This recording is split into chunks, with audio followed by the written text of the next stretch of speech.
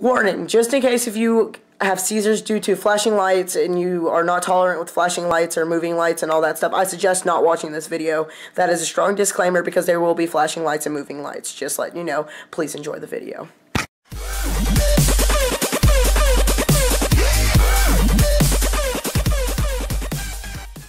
Up guys, Batman the Gamer here, and I'm here for two unboxings. We're going to do separates, but we're going to make both videos. So this is the keyboard. I'm going to go ahead and unbox it and set it up and give a review on it like I always do. And here is the new one. This is an add-on mouse. What, Haley? Oh, I know. Add on to this, and it helps to adjust it. But I have no sense of that, really for the adjustment part, it literally just snaps on there like that. I might keep it like that. That actually looks pretty cool. Looks. Does it feel nice? Huh? It kind of feels nice.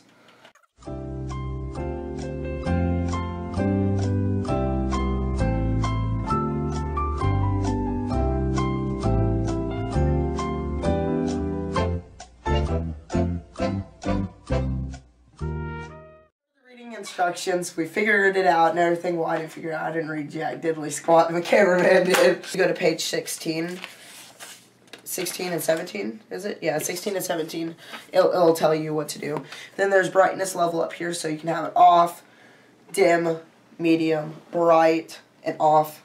I like it on bright because why not? And then, uh, you know, standard, I'm going to show you FN is function.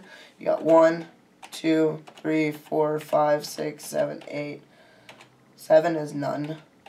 Eight, nine, ten. Zero, that's zero.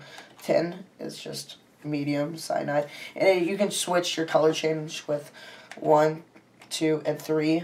You can switch your color change. And you can do it randoms, whatever you want. Uh, FN equal will always take you back to that. Increase the speed, you go up. Okay and go down to decrease and everything. Which way you want it to go. I want it to say if I want it to go that way, it's going to spin that way. Let's bring up the speed. It's going to go that way. If you want it to go that way, it's going to go that way. You get to choose which way you want to go. Then to turn it off in general, just FN7 and it's off. And G1, G2, and all that stuff, that will change different settings too and everything. Just basic what I just did 1 through and F through same difference. So thanks for watching, guys. That was the keyboard, and uh, the keyboard mat is pretty legit. It helps you if you're like an on the top person, but in like a dress door drawer, like how I'm doing it, it's, it's it feels very nice for gaming. But overall, like just in general, like if you're just using it as like a gaming, you console game, but you edit and all that stuff like this, I suggest without the faceplate because that's how I am. But that's that's all I got for this. Please like, share, and subscribe, and I will see you all in the second unboxing for the mouse.